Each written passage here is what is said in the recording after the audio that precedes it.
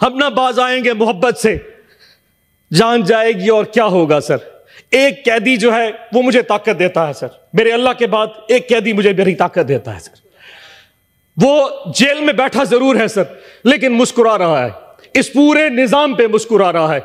उस एक कैदी ने इस पूरे मुल्क में असल हकीकी आज़ादी दी है, सर। एक कैदी ने सत्तर साल पहले कोई आज़ादी नहीं थी। उस एक कैदी ने आठ फरवरी को जो मैं आज़ादी दी है, वो इस कौम याद रखेगी उस कैदी को, सर। उस एक कैदी ने सारे निज़ाम को नंगा करके रख दिया है, सर। कौन होता है कि मुझे डिक्टेट करे कि मैं क्या कहूँ और क्या सोच सकता हूँ? आपको अंदाज़ा नहीं कि, सर, पिछले छह आठ महीने कितने कर में गुजारे हैं। उन चार महीने में जब छुपा हुआ था, मेरा घर गिरा दिया गया, सर। मेरी फैक्ट्री, मेरे कारोबार बंद कर दिए गए। एक छोटा सा जिम्मेदार हूँ मैं, सर। मेरे आमों के बाग के ऊपर जो मुस्ताजिर रहते जो बाग संभालते हैं, उनको उठा के ले गए मेरे बाग भी बर्बाद हो गए, सर। खान साहब बार बार लिख चुके हैं, जुल्म करना है तो कर लो। लेकिन ये कौन सा जुल्म है? तुमने किसी को कैदी बनाना है, बना लो। पर जहर दे के मारना, ये कहाँ की बात है? मैं आज तकरीबन ग्यारह महीने के बाद सेनेट में तकरीर कर रहा हूँ, सर। आखिरी तकरीर मैंने की थी, सर, तकरीबन मार्च 2023 में।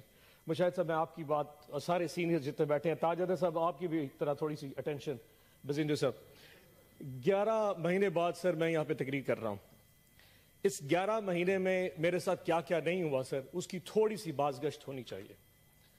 And this is very emotional sir नौ मई का वाक़ हो गया, सर। नौ मई के बाद रुपोश हो गया। साढ़े चार महीने, सर, मुख्तलिफ़ घरों में छुपे रहे, सर। कभी किसी के घर कभी किसी के घर। बच्चे लेके दर बदर भूरते रहे सर। जगह खत्म हो गई गाड़ियाँ नंबर प्लेटें तब्दील करनी पड़ी।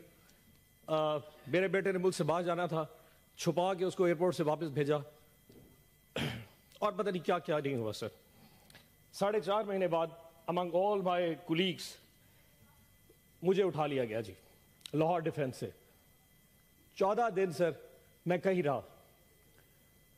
चौदह दिन में जो भी चिल्ला काटा, सर, वापसी पे एक स्टेटमेंट दे दी थी।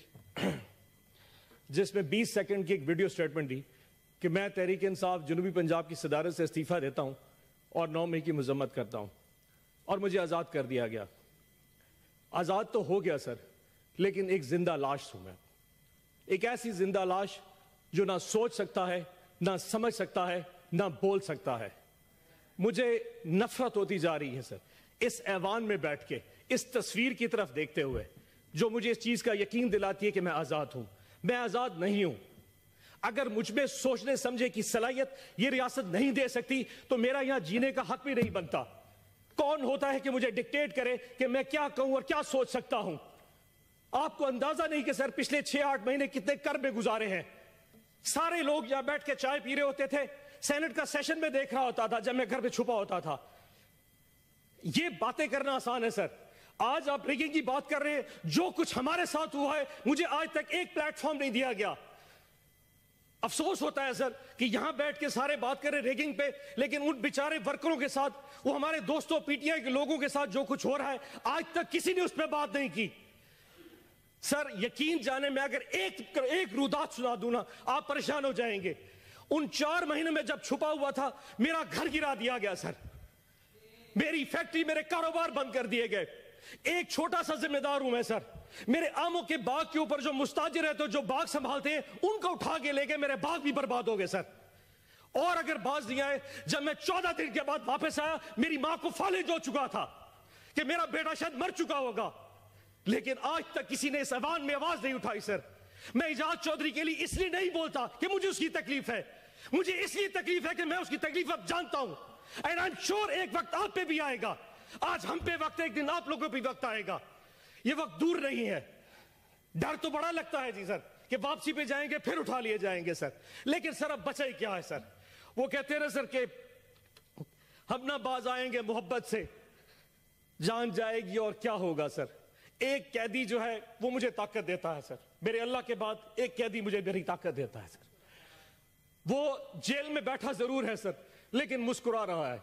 इस पूरे निज़ाम पे मुस्कुरा रहा है। उस एक कैदी ने इस पूरे मुल्क में असल हकीकी आज़ादी दी है, सर। एक कैदी ने। सत्तर साल पहले कोई आज़ादी नहीं थी। उस एक कैदी ने आठ फरवरी को जो हमें आज़ादी दी है, वो इस कौम याद रखेगी उस कैदी को, सर। उस एक कैदी ने सारे निज़ाम को नंगा करके रख दिया है, सर। आठ फरवरी को जब, इससे पहले छह महीने मैंने डिप्रेशन में गुजारे, सर। जब आठ फरवरी को मैंने लोगों को निकलते देखा, जितनी कुछ प्री पोल रिगिंग की गई, हमारे कैंडिडेट्स उठा लिए गए जल से जुलूस नहीं करने दिए गए, किसी कुछ भी नहीं करने दिया। लेकिन आठ फरवरी को जब अवाम निकली, वो नून लीग और पीपल्स पार्टी के जब उनके कैंप में जाके सर, वहाँ से पर्ची बनवा रही थी एंड पे जाके, खौफ में जाके वोट इमरान खान के कैंडिडेट को दे रही थी। किसी बैंगन को, किसी जूते को, किसी सब्ज मिर्चों को जो जो भी निशान थे। पाँच बजे रात को कौम ने सोचा कि हमने अपना फ़र्ज़ अदा कर दिया। रात को कौम आई, सुबह पाँच बजे तक पूरी कौम ऐसे जाग रही थी जैसे बैलेट बॉक्स के डब्बे उनके साथ पड़े हों और वो कौम हिफाजत कर रही थी। नमाज़ पढ़ के कौम जब सोई तो नौ बजे उठी तो फिर निज़ाम उल्टा था। जो सीटें हम एक सौ छत्तीस, चालीस तक जीत चुके थे, वो वापस सौ पे आ गई। और आज वो सीटें कम होती होती तिरानवे पे पहुँच चुकी हैं। ताज साहब, आप तो अपनी रोते हैं, सर। हमारी सुनिए। कि जिन लोगों के पास फॉर्म 47 इशू हो गया, फॉर्म 45 तो प्रिजाइडिंग ऑफिसर से लिया ही नहीं गया। रिटर्निंग ऑफिसर ने बगैर फॉर्म 45 देखे, फॉर्म 47 के रिजल्ट्स इशू कर दिए। फैसला पहले हो चुका था कि किसको किस औकात पे रखना है। हमारी औकात भी डिफाइन कर दी, लेकिन हमारी औकात से हम बाहर निकल चुके थे। फॉर्म 47 इशू कर दिए गए सर। उसके बाद कैंडिडेट्स को कहा कि अगर तुम लोगों ने नून लीग या आईपीपी जाना है तो जाओ। अगर नहीं जाओगे तो फॉर्म 47 भी चेंज कर देंगे। तुम्हें रिकाउंटिंग में हरवा देंगे। दस से ज़्यादा हमारे एमपीएस इस वक्त नून लीग को ज्वाइन कर चुके हैं। सदीकी साहब, इरफान सदीकी साहब, दस से ज़्यादा हमारे आज़ाद पीटीआई के इंडिपेंडेंट जो हमारी टिकट पे निशान नहीं था उनके पास, जो जीत के इमरान खान की फ़ोटो लगा के आए थे, वो इस वक्त आपके कैंप के बैठे हैं। ये कौन सा कानून है? ये कौन सा एथिक्स है? वोट इमरान खान का लिया। दस। अफलान साहब अफलान साहब बैठ जाए तकसीम रखें अफलान साहब अच्छा अफलान साहब सर अगली बात सुनते हैं सर। अब इस वक्त कोई बात अफलान साहब तशरीफ़ जिशान साहब बैठे। अफलान साहब अफलान साहब सेनेटर साहब। अपनी तकरीर बटन दबा सेनेटर साहब सेनेटर साहब अब अपनी बारी में बोल रहे हैं।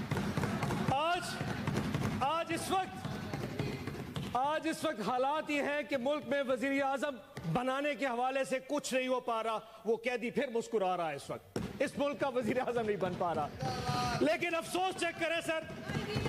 अफसोस अफसोस चेक करें, सर। उस कैदी का साथ देखें। इकतीस साल की सजाएँ दे दी फरवरी के पहले चार दिनों में। अभी भी दिल भरा नहीं। इस वक्त उस कैदी की बीवी बुशरा आपा बनी गाला के अंदर हाउस अरेस्ट है, सर। और हाउस अरेस्ट कैसा है कि पूरे एक कमरे की चार दीवारी में उनको मैसूर कर दिया गया है और उनको खाना अडियाला जेल से आता है और उस खाने में हमेशा कह के जहर मिलाया जा रहा है। खान साहब बार बार लिख चुके हैं, जुल्म करना है तो कर लो। लेकिन ये कौन सा जुल्म है? तुमने किसी को कैदी बनाना है, बना लो। पर जहर दे के मारना यह कहाँ की बात है? हमने रिक्वेस्ट की है, मेहरबानी करके बुशरा आपा को अडियाला जेल भेज दे। हमें हाउस अरेस्ट नहीं होना, और आज पूरी कौम को यह पता होना चाहिए, इस वक्त बुशरा आपा की तबीयत ठीक नहीं है। उनके साथ जो कुछ हो रहा है यह एक जुल्म है। आखिर में सर टाइम अपना गुजरा, एक शेर पढ़ देता हूँ। माजरत में लिखने लगा था, लेकिन वो लिख नहीं सका। सो यहाँ मोबाइल से पढ़ूँगा, लेकिन सर आपसे इजाज़त लेके। कुछ लोग तुम्हें समझाएँगे, वो तुमको खौफ दिलाएँगे। कुछ लोग तुम्हें समझाएँगे, वो तुमको खौफ दिलाएँगे। जो है वो भी खो सकता है। इसरा में राजन है इतने। कुछ या और भी हो सकता है। कुछ तो अक्सर होता है। कुछ और यहाँ हो सकता है। कुछ और तो अक्सर होता है। पर तुम जिस लम्हे में ज़िंदा हो, ये लम्हा तुमसे ज़िंदा है। ये वक्त नहीं फिर आएगा। तुम अपनी कर गुजरो। जो होगा देखा जाएगा। पाकिस्तान